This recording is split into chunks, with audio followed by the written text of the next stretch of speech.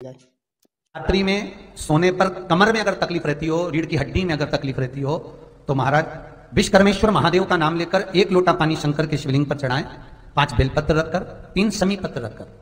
विश्वकर्मेश्वर महादेव के नाम से शिव जी को चढ़ाकर कटोरे में वो जल झेल लें। उस जल को विश्वकर्मेश्वर का नाम लेकर रात्रि को सोते समय पिए। रात में कमर में दर्द नहीं होगा, रीढ़ की हड्डी में दर्द नहीं होगा। विश्वकर्मेश्वर महादेव का स्मरण